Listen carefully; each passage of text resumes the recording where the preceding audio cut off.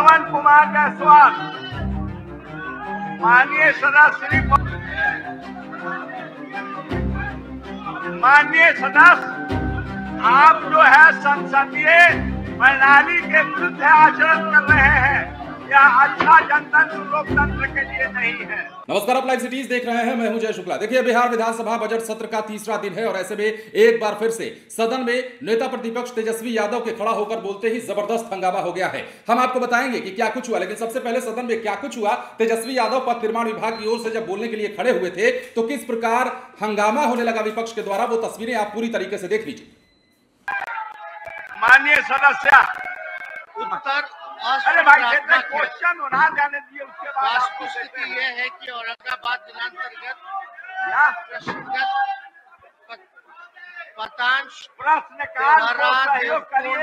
का निर्माण बोलने देंगे। आरसीपीएल मंत्री डब्ल्यू चूँकि जवाब। अंतर्गत चूँकि मंत्री जवाब दे रहे हैं। अनुरूप कराया जा रहा है जिसमें जवाब दे रहे हैं। जाँच स्टेट क्वालिटी मॉनिटरिंग एवं नेशनल क्वालिटी मॉनिटरिंग दल द्वारा किया जाता रहा है। गुणवत्ता जाँच प्रतिवेदन में कराए गए कार्य संतोषप्रद प्रतिवेदित है। किसी प्रकार की प्रतिकूल टिप्पणी नहीं है। आप कृपया दाऊद नगर गया जा करके स्थान ग्रहण करें स्थान ग्रहण करें के लिए।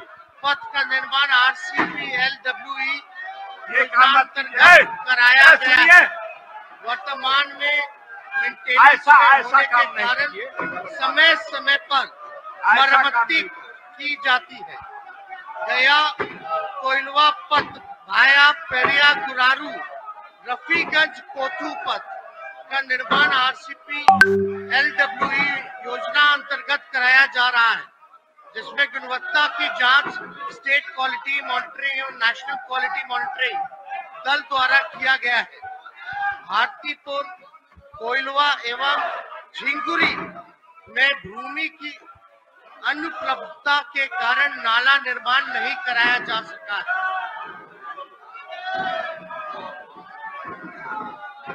है श्री श्री पवन कुमार जायसवाल। माननीय सदस्य श्री पवन कुमार जायसवाल। मार्शल मार्शल को आदेश दिया जाता है कि कुर्सी नीचे उठाइए।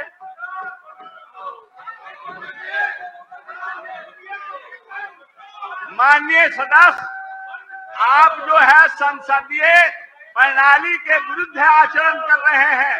यह अच्छा जनतंत्र लोकतंत्र के लिए नहीं है। पवन कुमार जायसवाल माननीय सदस्य। श्री सुदामा प्रसाद माननीय सदस्य। श्री सुदामा प्रसाद पूछता हूँ। अरे ये कांच क्या किया है? अपने बात को कह रहे हैं ये क्या हो रहा है? माननीय सदा श्री सुदामा सुदामा प्रसाद। पूछता हूँ सर पूछता हूँ। ग्रामीण पूछता हूँ।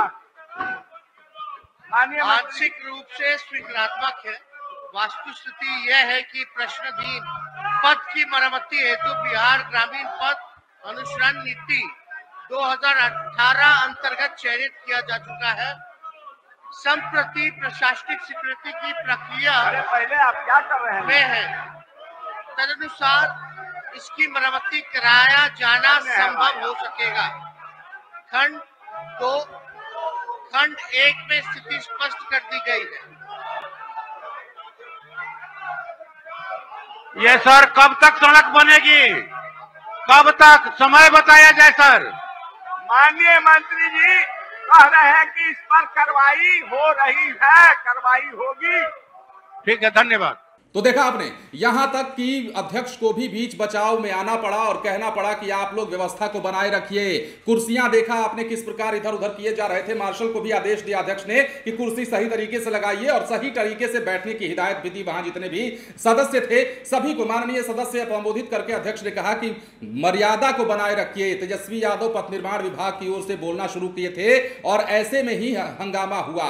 देखिए, विपक्ष का एक ही सूत्र है इस बजट सत्र में कि किसी भी प्रकार सरकार को मुद्दों पर घेरना है, और सही भी है, क्योंकि विपक्ष जब मुद्दों पर घेरता है सरकार को तो सरकार को जवाब देना होता है और जवाबदेही बनती भी है।